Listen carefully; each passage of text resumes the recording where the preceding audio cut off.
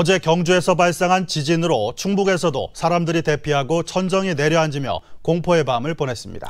진원지에서 100km 넘게 떨어져 있지만 이 진도 4의 강도를 느낄 수 있는 정도였습니다. 이재욱 기자가 취재했습니다.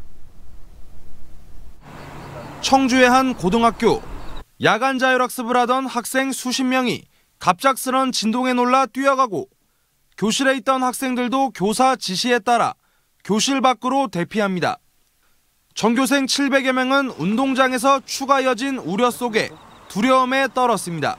예, 한 번도 느껴보지 못한 그런 기분이어서 당황스러웠어요, 그냥.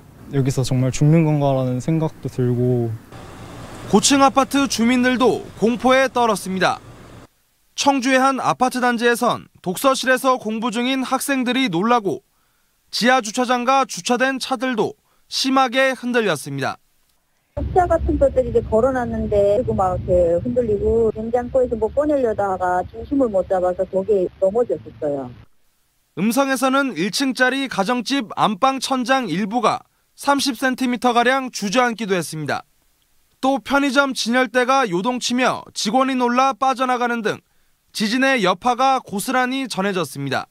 손님 계산하고 있는데 갑자기 흔들려가지고 처음에는 그 손님도 어, 지진 났나 고 나갔고 지진 여파로 KTX도 서행하면서 오송역을 지나는 열차 10대가 최대 2시간 40분 지연돼 승객들이 큰 불편을 겪었습니다.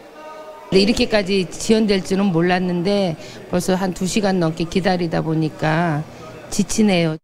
도내 대부분 지방에서 기록된 진도는 4.0으로 거의 모든 사람이 느낄 수 있고 그릇이나 창문이 깨질 수 있는 정도였습니다. 유례 없는 강한 진동에 충북 소방사항실에는 2천 건이 넘는 신고와 문의 전화가 빗발쳤습니다. MBC 뉴스 이재욱입니다.